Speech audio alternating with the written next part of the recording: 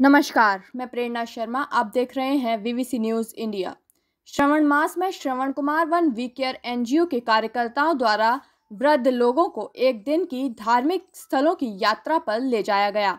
इस यात्रा का शुभारंभ ग्वालियर नगर निगम कमिश्नर किशोर कान्याल ने हरी झंडी दिखाकर किया। इस यात्रा में वृद्धजनों को रामलला धाम, ओलछा, उन्नाव बालाजी एवं पीताम्बरा पीठ दतिया के दर्शन कराए जाएँगे। साथ ही सभी यात्रियों के भोजन, चाय नाश्ता एवं मेडिकल सुविधाओं का भी पूर्ण ध्यान रखा जाएगा।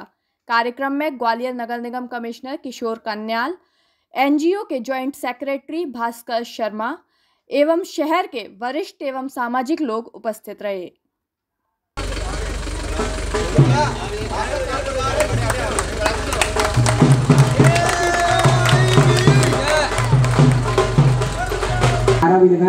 बोलिए पीताम्बरा वाली माई की पीताम्बरा वाली माई की पीताम्बरा वाली माई की रामलला महाराज की ओरछा वाले रामलला महाराज की ओरछा वाले रामलला महाराज की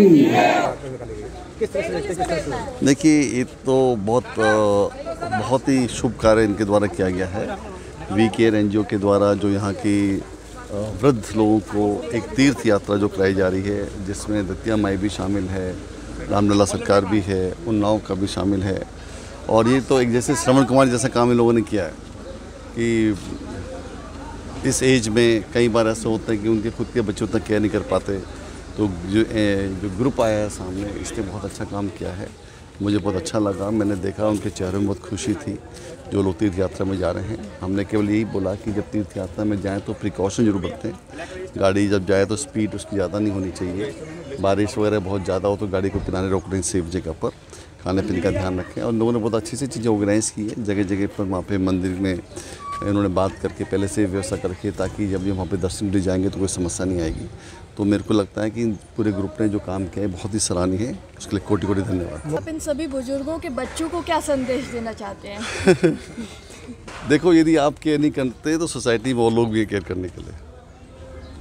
तो इस प्रकार से वी केयर जो एन जी है, उसने प्रूव किया है कि ये लोग बच्चों के रूप में ही काम कर रहे हैं। जैसे मैंने पहले ही बताया कि श्रवण कुमार के रूप में काम कर रहे हैं, ये बहुत अच्छी चीज़ है। और उनको खुद भी बच्चों को सीख लेनी चाहिए कि हमें अपने बच्चों का ध्यान रखना चाहिए। अल्टीमेटली, आज हम जवान हैं, कल को हम भी वृद्ध होंगे।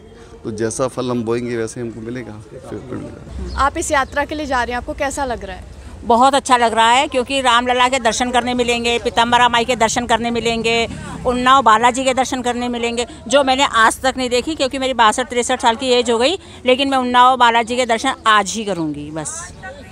और उसके लिए मेरे पास शब्द नहीं है और जिन, जो हमें ले जा रहे हैं, सबसे पहले ईश्वर उनकी भी मनोकामना पूर्ण करे जैसी मेरी करी है। आपको अपने बच्चों को कोई संदेश देना है? बच्चों को क्या संदेश देना? वो वैसे ही कोरोना काल में इतने परेशान रहे हैं तो वो वैसे सुखमय रहे। सभी हमारा ग्वालियर सुखमय रहे और तरक्की करे। और इसी तरह हमसे भी जुड़ा रहे और हमारी सेवा करता रहे। ज्वाइंट सेक्रेटरी हूँ अपने एनजीओ का। किस तरह से आप आज लोगों को लेके जा रहे हैं यात्रा हमारी टीम के जो सदस्य हैं उन्होंने एक योजना बनाई कि जिसमें हम लोग ऐसा काम करें जो हमारे पर्सनल या किसी ऐसे सोशल लोगों के लिए नहीं ऐसे जनहित में काम करें जिससे उनके चेहरे पे स्माइल आ सके और हम लोग को उस चीज़ का फ़ायदा इन फ्यूचर मिल सके और आने वाली पीढ़ी इस चीज़ को सीखे। तो आदरणीय संदीप भैया कोषाध्यक्ष हैं। उनका वक्तव्य थे कि हम लोग किसी ऐसे जनों को लेके जाएँ यात्रा पर जिनके मतलब सपोर्टिंग में कोई ना हो। तो हमें नारायण आश्रम जो है, उनके हमने सदस्यों को चुना और उनको ले आने का संकल्प किया और कोशिश की और गत एक महीने के अंदर हमने इस प्रोग्राम को, एक प्रोग्राम को इम्प्लीमेंट किया। और पूरी टीम के साथ आज आपके सामने हैं और किस तरह से एनजीओ का क्या लक्ष्य है? लक्ष्य हमारा है एक हॉस्पिटल इन्वेंशन करना कि हम ऐसा हॉस्पिटल जो किड्स जो बच्चों के लिए यहाँ हार्ट हॉस्पिटल नहीं है कोई बड़े कैंसर हॉस्पिटल नहीं है। हमारे बगल में एक पीछे आप जो घर देख रहे हैं इसमें एक बहुत बड़ी क्षति हुई थी जिसमें हमने मानव नाम के बच्चे की मदद करते हुए उसको खो दिया। तो हमारा संकल्प है आने वाले समय में हम लोग एक ऐसा हॉस्पिटल पहले डिस्पेंसरी क्रिएट करेंगे फिर एक हॉस्पिटल क्रिएट करेंगे जिसके अंदर कम से कम हज़ार बिस्तरा का बेड हो और उन बच्चों के लिए स्पेशली हार्ट ट्रांसप्लांट और कैंसर जैसी बीमारी के लड़ने के लिए हॉस्पिटल बना सकें। तो क्या उस हॉस्पिटल में जो सुविधाएँ दी जाएँगी वो मुफ़्त में बिल्कुल निःशुल्क रहेगी। हम लोग कोशिश में हैं कि टाटा मेमोरियल हॉस्पिटल जो है उस तर्ज पर हम ऐसा हॉस्पिटल बनाएँ जिसका खर्चा हम जैसे आप लोग जैसे लोग सदस्य सहयोग करते रहें उसके अगेंस्ट हम लोग काम करें।